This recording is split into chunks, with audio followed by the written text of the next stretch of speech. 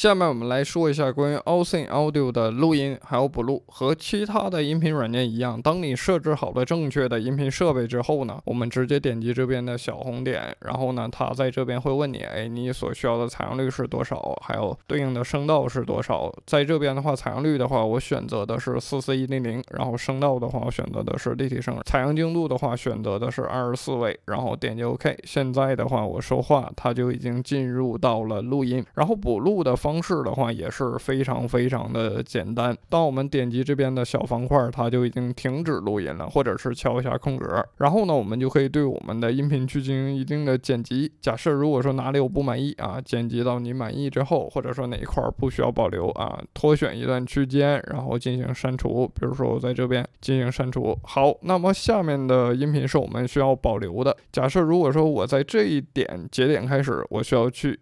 补录啊，这边的话是需要补录的内容。那么我们该如何去进行补录呢？首先呢，先把指针放到这个位置，你需要补录的位置，然后点击这边的录制。哎，现在的话，我说话看到了吧？前面的这个内容啊，它是全部都保留的。然后呢，这一段开始之后呢，我们就开始进行了录音，看到了吧？当我点击停止之后。我这边的内容是保留下来的，前面的前一段啊，第一次录制的内容是完全保留的。我在这边的话就能够录下来新的内容。这个的录制方式，说实话，对我们的有声内容或者是朗读的内容这种类型的东西是非常非常的有帮助的。举一个比较现实的例子，现在啊，我说话，然后呢，我说的内容是，我今天 U 盘又坏了，有没有哪位可怜的网友？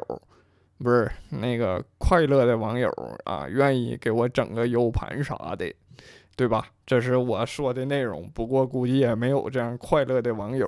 我们我们听一下我录下来的内容啊，我说话，然后呢，我说的内容是：我今天 U 盘又坏了，有没有哪位可怜的网友？不是那个快乐的。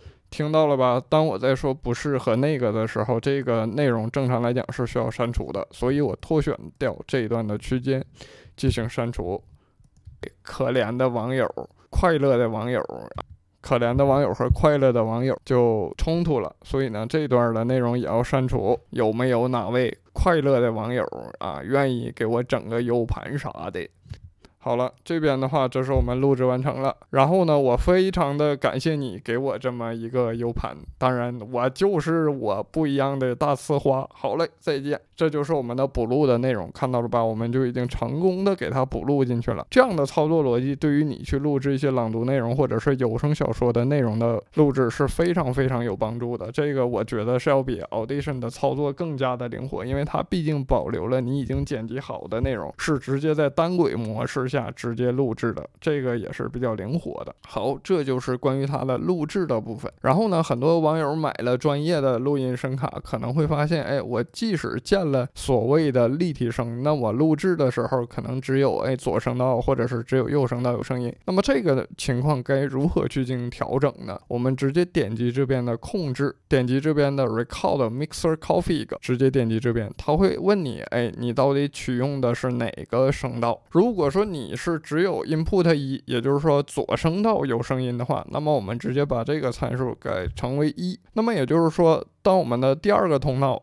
软件里边的右声道取的声音的内容还是来自于 input 一，就是你声卡上面的左声道的内容。假设如果说你的说话的声音是只有右声道的，只有右声道的，那么我们需要去修复的肯定是左声道。所以说呢，那么我们左声道的内容就是我们的 channel 一啊，软件里边的左声道叫做 channel 一，直接把这个型号调整成为一就可以了。如果说是正常的情况下的话，你是左右声道都有的话，那么这两个的参数就是零。这样的方式的话，就能够满足一些人去使用专业的录音声卡，它录下来的内容只有单边有声音的情况。好嘞，感谢您的收看，拜拜。